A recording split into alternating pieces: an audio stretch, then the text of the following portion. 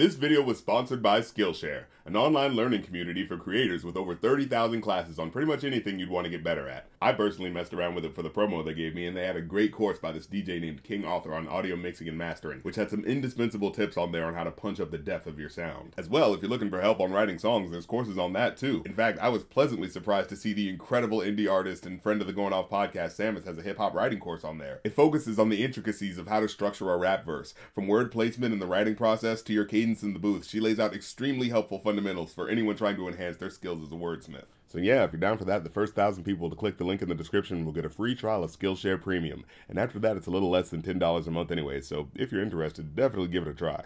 Hi guys, Rap Critic here, and this was a Patreon voted episode. And if you'd like to vote on what's next, plus see episodes early and join my Discord, go to my Patreon in the link tree below. So let's talk about 24kGoldn.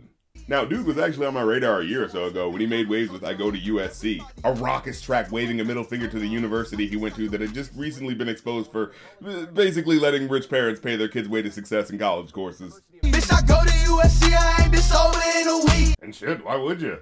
I mean, man, to suddenly have hard proof that while you were grinding to keep your grades up, other students in your class were just coasting by because their parents gave a bribe to the same teachers telling you to work harder. Yeah, th that's definitely gonna throw your respect for an institution's authority into question. So, as his first album title suggests, he came to a very clear decision about his life path and struck it out in the real world, garnering enough attention through his music to nab this year's Double XL freshman spot and cook up a number one hit for himself with today's single, Mood. So now it's time for the big leagues. No more college radio with frat anthems that are definitely a little immature, but also really catchy. Onto mainstream radio with love songs that are definitely immature, but also really catchy. See, this song is a bouncy pop rap song about being in a relationship with a girl who's just perpetually unhappy about things. Why you always in the mood? Fuck around like I'm brand new. And you know, I get it. You're writing a pop song that's trying to express a universal enough emotion that people will gravitate towards it, but uh, songs with topics like this often come off as insensitively dismissive of women's feelings. Like, those women vote with their irrational emotions, am I right, fellas? I ain't tryna tell you what to do, but try to play cool. Although with this next lyric, you, you can tell he's trying to back off a bit. Like he's saying, hey, he's not bringing this up to be controlling or anything. It's just that on his end, it seems like things are fine, and he just wants to chill out and enjoy their time together.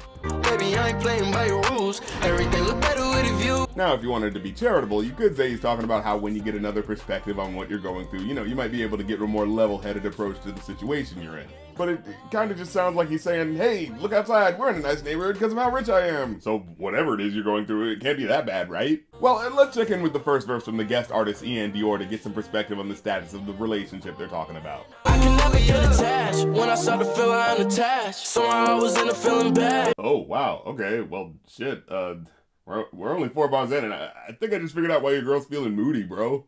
Because you just started by saying you don't emotionally get attached to women, and, and whenever you do feel like that's happening, you immediately cut them off. And for reasons that seem unfathomable to him, he feels bad about doing that.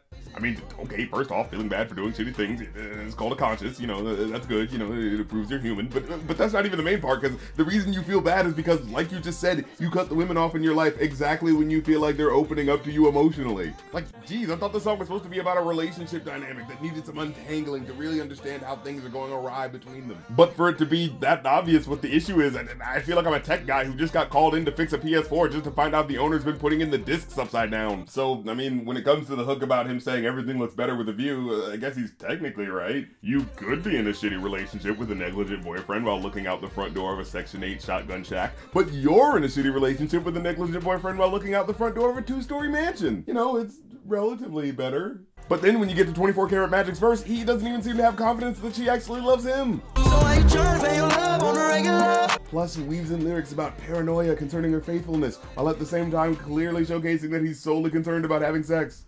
I'll never let a shorty go and set me up. Only thing I need to know is if you wet enough. Well, you, like, like you just said, she's still moody, so no, that's clearly not all you need to know, dude. We play games of love to avoid the depression. Dude, this isn't complicated. If she wants more than a fuck buddy, but you just want a fuck buddy, leave her alone and find someone who's okay with just being a fuck buddy. Relationship advice with raps really doesn't seem that hard. Overall, I give this a 2 out of 5.